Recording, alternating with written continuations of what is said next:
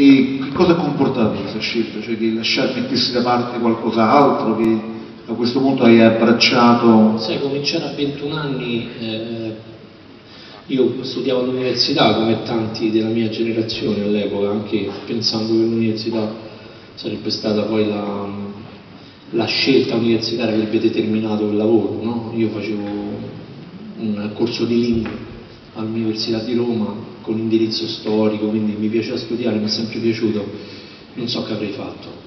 Poi è arrivato il lavoro, le esperienze in televisione, eccetera, quindi ho lasciato automaticamente. Non so cosa ho lasciato, sicuramente so che cosa ho trovato, ecco. e non è che è stato subito tutto molto insomma una carriera anche dei tempi naturali, in un paese come il nostro magari per un uomo è anche più facile, questo lo dico anche eh, colpevolizzandomi, non io, però magari colpevolizzando poi il fatto che per, per una donna eh, fare il nostro mestiere, realizzarsi ed avere un cammino sano e naturale è molto più complicato.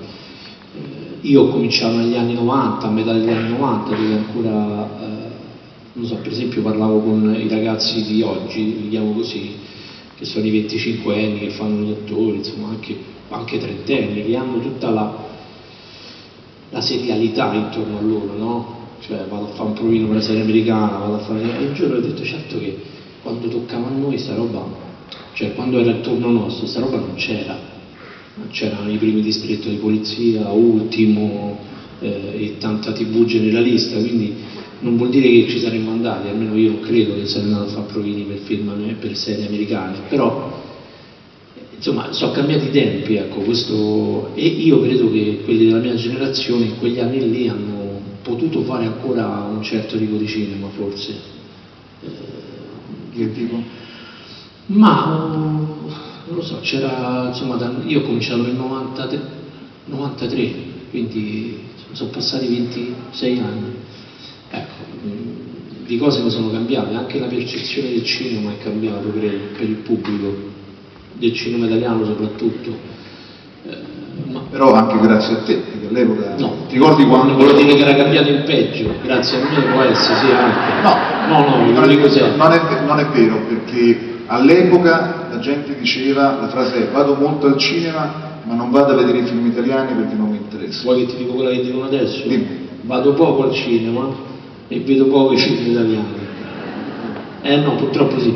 Però ehm, la cosa che ho notato in questi tantissimi anni è che non sono mai mh, mancati registi, storie, attori, attrici quella roba non è mai mancata, mai mancherà in un paese come il nostro, perché ci stanno un sacco di persone sensibili, intelligenti e che sanno usare il mestiere del cinema come veicolo per fare tante cose interessanti.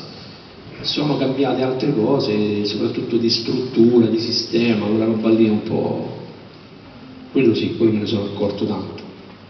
Tu non ti senti, ehm, cioè, anche se appunto è passato un tempo relativamente breve, che in quegli anni, gli anni 90 fino diciamo, alla fine della prima decada del 2000, hai partecipato alla ricostruzione, alla rinascita. E io direi anche alla demolizione di un certo tipo di cinema italiano, perché guarda c'è stato anche tanto cinema brutto, eh, lo dico con grande... Eh?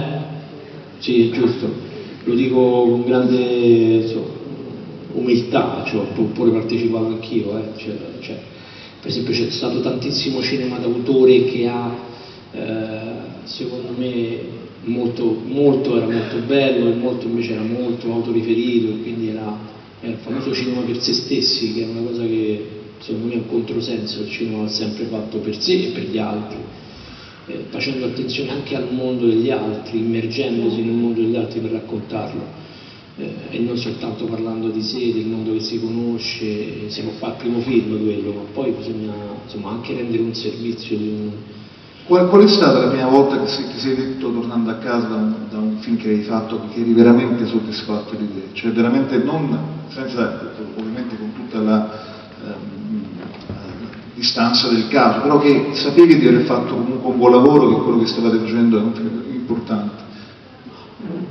Potrei, potrei, dire mai, ma lo dico perché l'ho dimostrato anche nel, l'emozione che mi avete insomma, regalato questa accoglienza. Io poi cerco di fuggire anche da, dalle sensazioni definitive, no? che possono essere di gioia, di soddisfazione, cerco sempre di tenere una... ma lo dico per... insomma, ne parlo con lo psicanalista, non con voi, però diciamo che io sono ancora vivo all'interno dell'entusiasmo nei confronti del cinema proprio perché sempre come, come pugilato, uso molto il jab, cioè colpisco e mi allontano, non è che però arriverà il giorno in cui mi emozionerò in maniera totale e sarà la fine, credo. Hai capito la metà capito. Poi, Anche quella concedita. Poi guarda se, guarda, se no poi c'è Magrelli qua che me la spiega dopo Magrelli sta, sta, sta stenografando. No, ma... È stato visto stenografare. Magari mi manda, Enrico mandami un Whatsapp poi con la spiegazione.